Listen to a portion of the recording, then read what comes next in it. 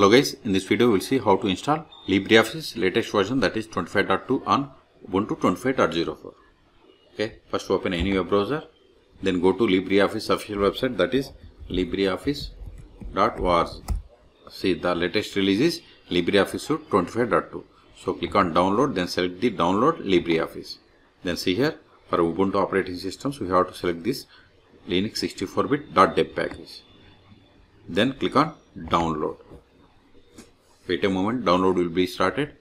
See download started and its size is 199 megabytes. Wait until download completes. In meantime please subscribe my channel for more tutorials. See download is completed. Now open terminal. Also verify. See here we don't have any libreoffice calc or word or anything. X. okay. So open terminal. Go to downloads directory. Cd downloads ls see here we have the libreoffice it is zip file. We have to unzip this file. Tar hyphen xvgf then give the libreoffice first two three letters of this zip file. Give the tab to autofill entire file and hit enter. At a moment it is extracting. Ls we have successfully extracted. Now now go to this folder cd libre give the tab hit enter. Now go to this debs hit enter.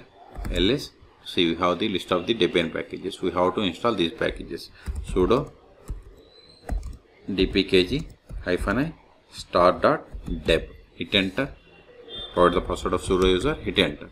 See now it is installing libreoffice 25.2 we have successfully installed. Now go to show applications. See here we have the list of the libreoffice. See libreoffice calc libreoffice base that is like ms office access this is like ms office. This is like microsoft powerpoint. This is like microsoft word okay? So we have successfully installed. Now go to terminal again. Cd up. More directory up. Ls these files are not required anymore. So remove this direct extracted directory and this zip file. Rm give the lib give the tab underscore hit enter. Ls remove this directory also. Rm hyphen rf then give libre give the tab hit enter ls.